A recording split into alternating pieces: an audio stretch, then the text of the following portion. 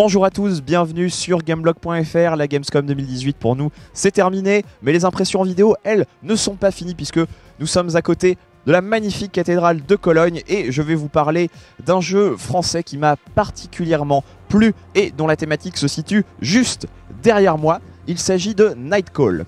Alors Nightcall, qu'est-ce que c'est? C'est un jeu dans lequel vous allez incarner un chauffeur de taxi et pas n'importe où, en plein milieu de Paris. Mais alors pas le Paris des cartes postales, hein, pas un Paris euh, fantasmé euh, à la sauce euh, rose de Versailles, non non, le Paris que l'on connaît, le Paris de la nuit.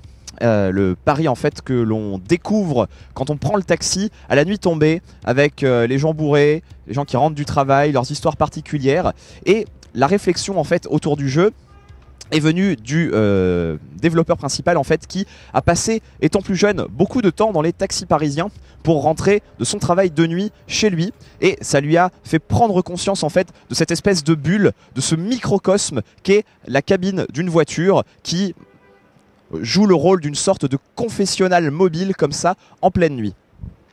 Alors, pour une obscure raison, vous, chauffeur de taxi, euh, allez devoir en fait collaborer avec euh, la police parisienne. On ne sait pas encore exactement pourquoi. Euh, tout ce que je peux vous dire, c'est que une personne, une femme au sein de la police de Paris possède un moyen de pression et va donc vous obliger à participer à une drôle d'enquête. Pourquoi vous? Eh bien parce qu'un serial killer rôde dans les rues de la capitale et il a une particularité, c'est qu'il ne se déplace qu'en taxi. Vous êtes donc un indicateur tout trouvé pour essayer de remonter à la source et le jeu va donc prendre la forme d'une enquête à l'intérieur de votre cabine. Alors vous avez plusieurs types de phases, évidemment les phases de conduite où vous allez en fait euh, emmener vos clients à destination et entamer ou pas d'ailleurs la conversation avec eux. Vous avez quelqu'un qui va euh, prendre place à l'arrière, qui va euh, peut-être vous solliciter, vous faire une remarque et à vous de choisir en fait la réponse la plus adéquate ou pour euh, satisfaire votre client et euh, bien gagner votre vie, ou pour justement essayer de déceler un indice, puisque peut-être que un mot, un sous-entendu euh, dans, la bouche de vos clients va vous laisser penser qu'il y a peut-être un indice, il y a peut-être un lien avec cette, mystérieuse affaire sur laquelle on vous a branché.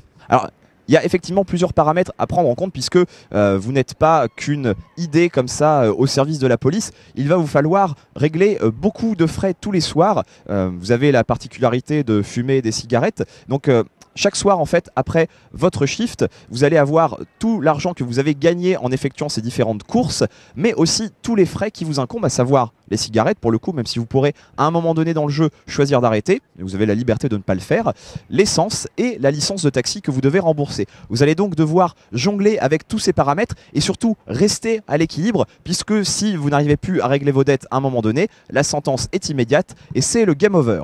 On nous annonce plus de 75 passagers différents. Euh, qui ne vont pas tous sortir au même moment. Vous avez quelque chose d'un petit peu aléatoire en fait dans les gens que vous allez pouvoir rencontrer.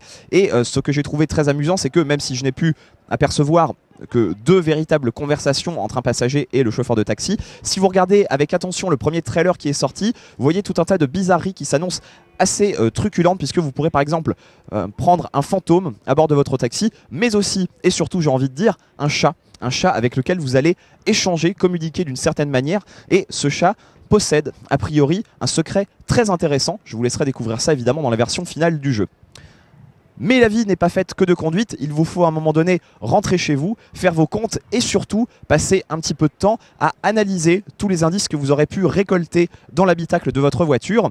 Sauf que tout ça demande du temps, du temps vous n'en avez pas forcément beaucoup, puisque vous avez pu choisir de prolonger un petit peu votre nuit, en tant que taxi, ce qui fait que vous allez être très fatigué le lendemain matin et vous avez tous ces paramètres en fait à sous-peser en permanence et vous avez un équilibre à trouver entre le fait de gagner votre vie, le fait de faire progresser l'enquête, sachant que d'un côté comme de l'autre, le game over peut vous guetter à tout moment. Évidemment, puisque c'est un jeu d'enquête, l'écriture compte énormément. J'ai trouvé que euh, le jeu était en anglais. Hein. il a beau être français, la, démo qui était présentée à la Gamescom était en anglais, mais j'ai trouvé l'écriture très fine, euh, très amusante, et il va falloir avoir un petit peu de nez et avoir un peu de sens du contact et de l'humain pour réussir à aller piocher tout ce qui est intéressant dans la mémoire de vos interlocuteurs, sachant que vous allez vous-même au fur et à mesure découvrir votre sombre passé qu'on ne connaît pas au début du jeu.